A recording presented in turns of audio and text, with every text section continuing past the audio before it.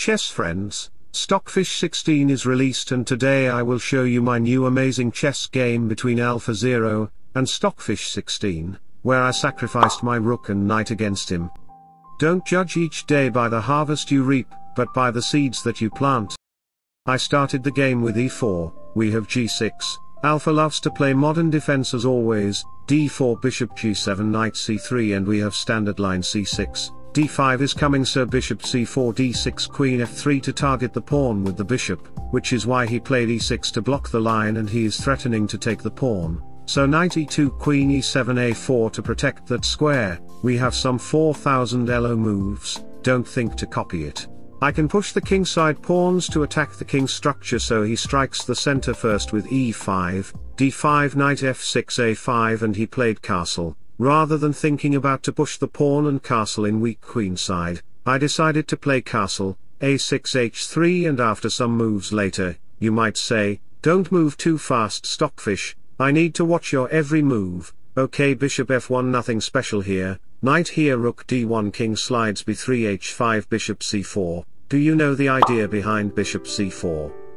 No, then c, the pawn can't be taken, if someone dare to take the pawn then after doing some pieces exchanges on center, the knight will seize many important squares, queen here then bishop a7, deflecting the rook from the b8 square to make a fork on c7 with the knight, it would be a very tough situation for you, so back to the position, Alpha is a special guy, he played knight b5, knight e2 knight a3 to attack both of the targets, so bishop b3 to protect the pawn, knight b5 and you know what. You can't take the knight without making a plan, black will enjoy this open c-file, so we have knight a4, takes takes, I am threatening to play c4 to kick out the knight, then put the knight behind the c-pawn, then push it, to open up the rank for the pass pawn, you can sacrifice a pawn to make a protected pass pawn, Alpha is not less than Stockfish, when all super engines are failed to defeat Stockfish, then he was born, said by Alpha. He is threatening to push the e-pawn which is why I move back my bishop and now you can't push the pawn to capture my pieces, let me show you why, if e4 happen then simply take the pawn with bishop, 69 IQ people will be galled by capturing a free bishop, but look at the position, the rook is x-rain to queen and rook behind from the knight, so knight g3 with a discover attack, he may capture the queen then take the rook first with a check, the king have to run while doing toilet. Takes and you will win up material, game will be in your hand, like the video now thank me later, so in this position we have knight c7 by alpha, he looks like a kid but he is not a kid, he is threatening to push the pawn on e4 again after queen f7 so queen g3 queen here, and here Alpha Zero puts his knight in a worst square, he won't make some gameplay on b6 square, okay bishop c2 b5. And we have en passant move, with that we have pieces exchanges on b6 square, knight d7 and after some moves later I am re-rotating my knight, okay we have knight f3 with the idea of playing knight g5 to target the queen,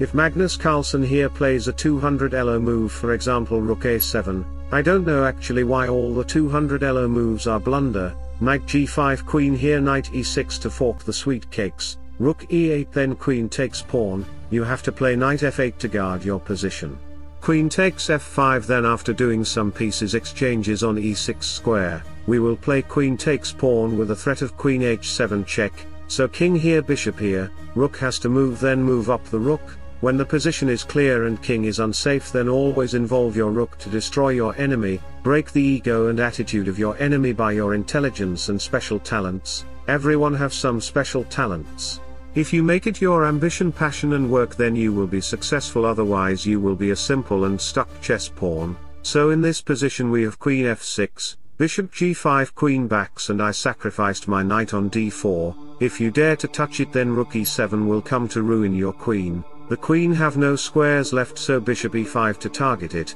queen ups then you will lose your queen for a rook and knight, game will be over so back to the position, we have f4 to target it. Queen h4 and you still cannot take it because of the same reason, your queen will be in jail so black plays knight c5, I said Hare Krishna and played knight c6, my idea is to play b4 with knight support, Try to retreating the knight to block away the rook line and make the rook passive, then I will play knight e7 check with a threat of knight takes pawn with light square bishop, therefore queen takes check will destroy you, Alpha Zero knows it because he is a student of me. And chess friends if you want to play like 4000 ELO rating engine then you can like and subscribe to my channel, we have bishop f5 to block the diagonal, bishop takes bishop, Pawn takes because queen takes bishop. Wasn't possible because of knight e7 fork to the king and queen, you would lose the rook, b4 to target it with knight support, knight e4 c5, to make a pass pawn, bishop f6 and here I decided to sacrifice my rook on e4,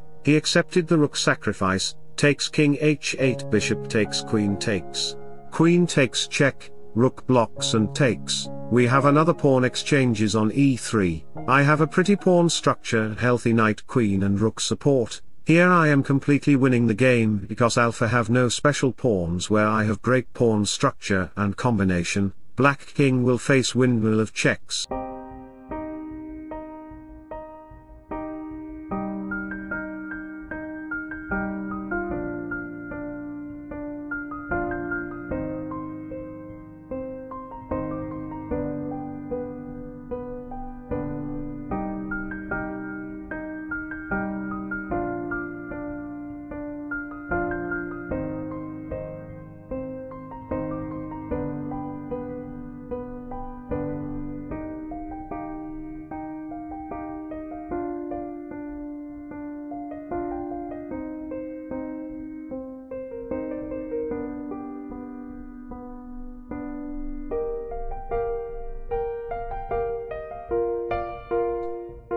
Wish you all the best. Thanks for watching. Subscribe for more. Bye bye. Take care. See you soon.